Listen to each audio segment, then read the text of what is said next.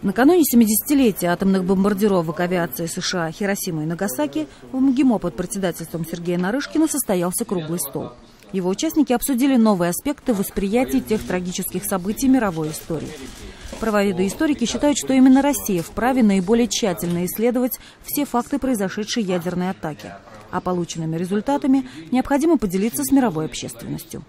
Это первые и до сегодняшнего дня единственные случаи применения, боевого применения ядерного оружия. И мы полагаем, что 70-летие этой, этого события, этого трагического события требует внимания всей планеты. К сожалению, в сегодняшнем мире есть влиятельные силы, стремящиеся вычеркнуть из истории и детали бомбардировок, и их страшные результаты, и, и понимание того, кто эти преступления совершил. Память об этом не менее важна, чем память о злодеяниях нацистов и японских милитаристов. Иллюзия безнаказанности может привести к очень и очень тяжелым последствиям. Потому столь опасны и идущие параллельно искажение истории Второй мировой войны и наращивание агрессивного потенциала стран НАТО. Власти США в 1945 году, по сути, злоупотребили наследием общей борьбы народов антигитлеровской коалиции поскольку масштабная атомная программа изначально была лишь ответом на соответствующие планы нацистов. Благодаря научному и оборонному потенциалу Советского Союза в последующие годы удалось достичь паритета в вооружениях и предотвратить ядерную войну. Российские дипломаты неоднократно посещали японские города, потерявшие в дни трагедии почти половину своего населения. О том, как это было, рассказал представитель МИДа Александр Илышев-Веденский. Он передал Сергею Нарышкину копию рассекреченного доклада советского посольства в Японии о произошедшем в Хиросиме и Нагасаки.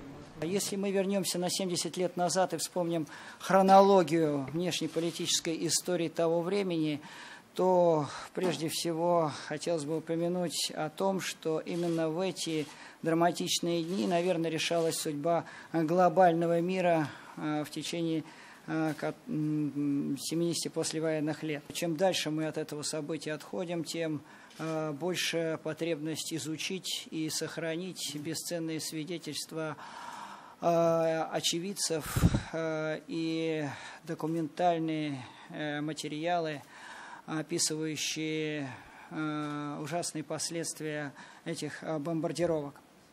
Как э, писал историк Бердяев, человеческая память – это величайшая сила в человеке, которая способна изменять мир. Председатель Государственной Думы и глава Российского исторического общества Сергей Нарышкин предложил придать этот уникальный документ гласности и разместить на сайте Российского исторического общества.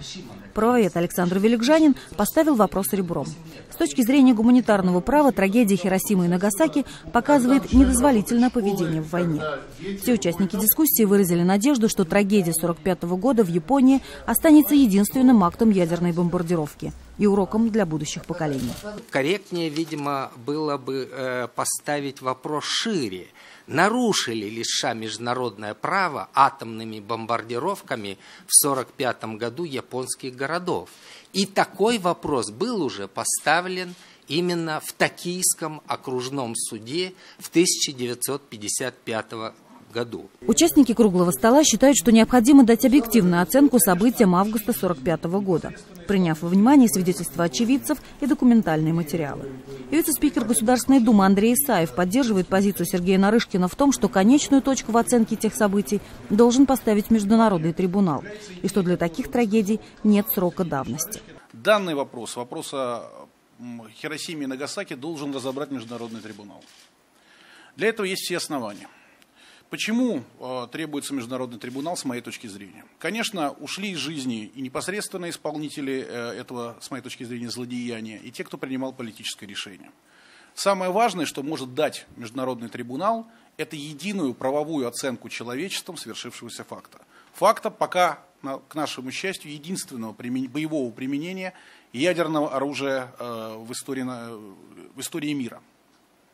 На сегодняшний день такой единой оценки, к сожалению, нет. Атомные бомбы были сброшены на самые густонаселенные районы Японии в начале рабочего дня, что является антигуманным актом варварства, резюмируют участники заседания. Собравшиеся уверены, что безнаказанность совершенного повлекла за собой новые трагедии и факты агрессии. 1999 году не было атомной бомбардировки, но была бомбардировка европейского государства, Югославии, жесточайшей, которую не смогли остановить ни Совет Безопасности, ни позиция европейских государств, в том числе и России. Завершая встречу, Сергей Нарышкин привел данные социологических опросов россиян, которые показали, что отношение к событиям трагедии в Хиросиме и Нагасаки остается прежним. Отношение наших сограждан, россиян э, к тому, что произошло в Хиросиме и Нагасаки в 1945 году, с годами не меняется. Вот у меня последние данные, которые э, получил Левада-центр, 80 примерно 84-85% наших сограждан считают преступным и бесчеловечным акт применения атомных бомб в Хиросиме и Нагасаки в 1945 году. И повторяю, вот эта цифра примерно остается на, на таком же уровне с течением многих лет.